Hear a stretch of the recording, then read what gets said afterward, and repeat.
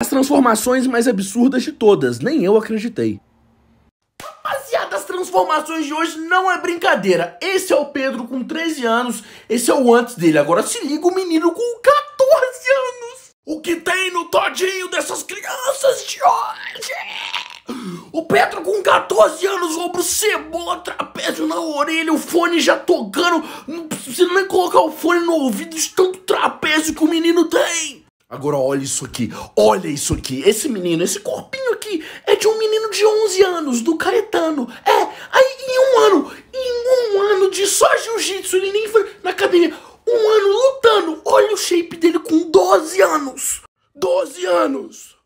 O menino tem 12 anos. O que tem no todinho dessas crianças?